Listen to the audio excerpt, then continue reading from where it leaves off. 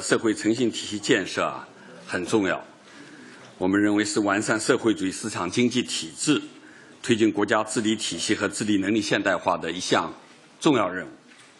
就你刚才也提到了，现在出现的一些问题，包括学术不端、呃制假售假，是吧？还有酒店卫生，其实最近还报报道了一些用过期的疫苗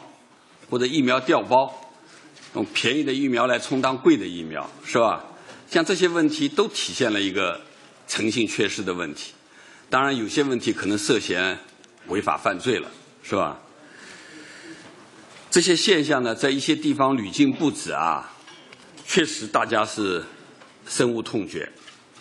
建立社会诚信体系建设呢，是我们一项急需进一步加强和改进的一个工作。你刚才见到了这个体系建设，那么在二零一四年，国务院出台了社会信用体系建设规划的纲要，它一个二零一四到二零二零一个规划纲要。近年来啊，我们做了一些了解，近年来各有关部门积极落实纲要要求，加快推进社会信用体系建设，取得了。积极的进展，比如不断完善了标准体系，形成了法人和其他组织统一的社社会信用代码，相当于机构的身份证。哎，他们说这个一代身份证终身就跟着他了啊，可以很方便的查询其信用记录，也已经建成了全国信用信息共享平台，实现了中央部门。省区市和市场机构信息披露和信息公示的互联互通，还比如开设了信用中国的网站，我不知道记者朋友们是不是去查询过这样的网站哈？对公众开放，对法院执行难、欠税不还等严重失信行为发挥了很大的震慑作用，在税务、工商、法院执行、安全生产。食品药品安全等领域啊，建立了一系列的激励和惩戒的机制。有一个数字，从二零一三年十月到去年十二月底，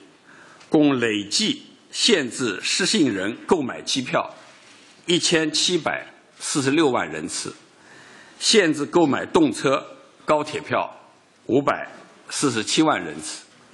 这套体系的建设啊，发挥了很大作用。大家注意到前段时间我们在处理一些霸座现象的时候，是吧？你在给他对他惩处惩惩处的时候，也用这套体系，他就坐不了高铁，坐不了飞机了，哎。因为对社会诚信体系建设啊，全国政协也是非常关注的。全国政协委员啊，这个通过提交提案等方式提出了很多意见和建议。委员们认为啊。社会诚信体系的建设是一项长期的、复杂的、系统的工程，需要全社会啊共同的来努力。大家认为啊，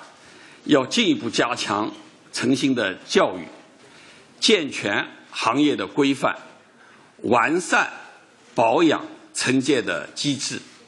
来营造一个全社会啊诚实守信的这样的一个社会环境和体系。让失信者寸步难行，让守信者一路绿灯。